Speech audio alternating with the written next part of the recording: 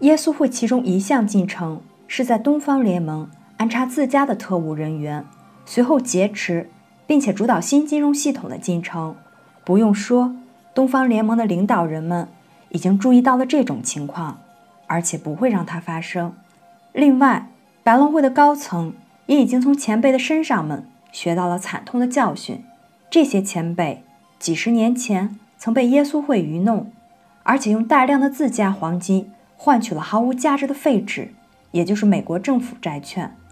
白龙会现在比以前更加小心谨慎，特别是现在。耶稣会正试图用大中华区的特务单位对他们进行渗透破坏。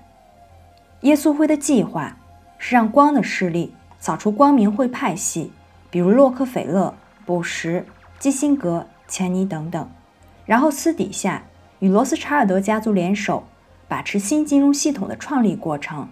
他们的代理人目前正为了阴谋集团成员的投降事宜而与光的势力。进行马不停蹄的谈判协商，同时他们会试图使投降协议趋近于耶稣会的统治议程。议程的目的，则是让教宗成为新的货币主宰。这也是现任耶稣会教宗大力推广成立世界中央银行的原因所在。他们也认真考虑实行一次全世界的债务大赦，借此以良善的天主教会的名义假扮成人类的救星。他们接下来。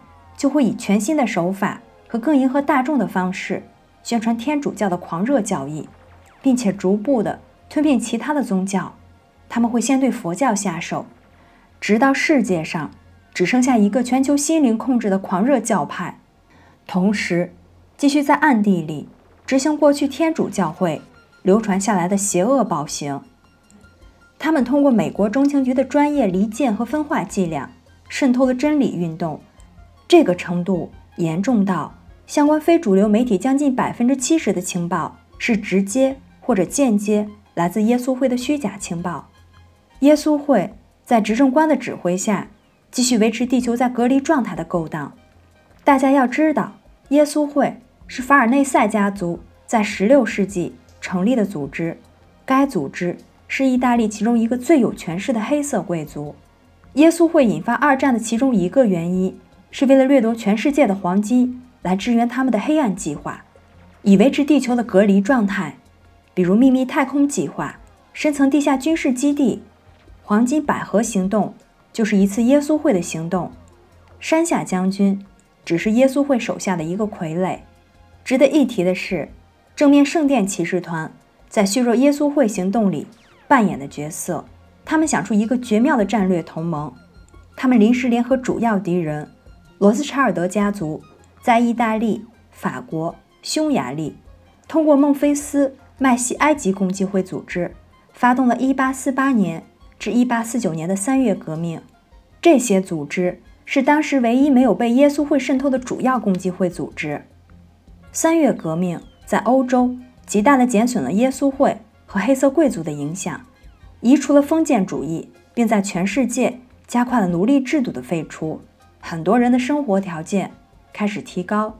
除此之外，人类的意识也开始基于耶稣会宗教控制的盲目情感，转移到理性的思考。随着科学的进步和教育的普及，而有了更深远的进展。不用说，正面圣殿骑士团和罗斯查尔德的临时联盟，在三月革命结束后就结束了。有趣的是，三月革命的经费。是用金块来资助的，换算成现在大约是一千万美元。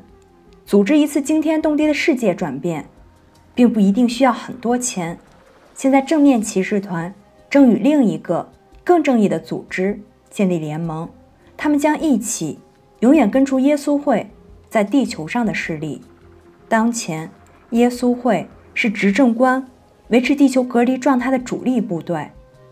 耶稣会的前任总会长汉斯·彼得·高文博是执政官维持地表人类恐惧心理的头号打手。他是911事件、311日本大地震两次尾期攻击行动的幕后主导。他也是叙利亚冲突幕后的头号元凶。教宗的顾问亨利·基辛格建立了秘密组织 P.I. 四十。现在主要在耶稣会控制下，防堵人类与正面的外星种族进行接触。耶稣会建立了中央情报局、国家安全局、国家侦察局和国家地理空间情报局的真正目的是监督和评估正面外星种族对他们帝国的威胁。中央情报局成立的主要目的是在全球各地安插亲耶稣会政权，尤其是会遵照耶稣会对正面外星种族政策办事的政权。耶稣会的主要策划中心。是华盛顿乔治敦大学。有趣的是，很多 CIA 局长都在乔治敦大学受过耶稣会的洗脑教育。乔治·特尼特，911尾期期间 CIA 的局长，乔治敦大学毕业生。戴维·彼得雷乌斯是几年前的 CIA 局长，也在乔治敦大学完成了军事奖学金学位。前 CIA 局长迈克尔是该校的研究生。另一位 CIA 局长。约翰·布伦南在另一个主要的耶稣会策划中心——福特汉姆大学获得了学士学位。另外，国防部长们也很喜欢访问乔治敦大学。唐纳德·拉姆斯菲尔德是911尾期期间的国防部长，也上过乔治敦大学，虽然他在校成绩不怎么样。罗伯特·盖茨2006年到2011年的国防部长，在该校获得了博士学位。查克·哈格尔，国防部部长，也曾经是该校的教授。国防部部长的角色是强化耶稣会麾下的负面军方势力，直到2004年前，他们的角色也包括监督地下军事基地的构造。2004年后，所有的基地都被抵抗运动清理了。NASA 的目的则是一网打尽地球上所有的电子通讯，从中监视、拦截、分析和评估。所有可能指向地表人类与善良地外智慧种族或者抵抗运动接触的信息，因为任何这类接触的踪迹都可能对耶稣会帝国造成认知上的威胁。国家侦察局的主要目的是不间断地监控地球表面及其周边任何人类与正面外星种族接触的迹象。如果有任何这类接触发生，国家侦察局就会通知负面的军方，进而会动用一切方法。消灭这个接触，因为这被认为是对耶稣会帝国的威胁。国家地理空间情报局的主要目的是详细的绘制全球的地图，以便进行完全的控制。耶稣会在美国的权力架构看起来像是这样。除了上面提到的那些人，在这里也提及一下莱昂帕内塔，他既当过国防部长，又当过中情局局长。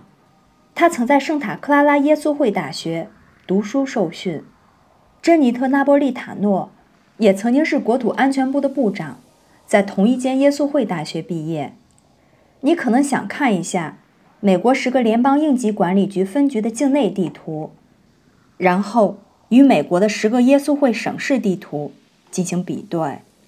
在这里特别澄清，我分享耶稣会议程的阴谋，不在于散播恐惧。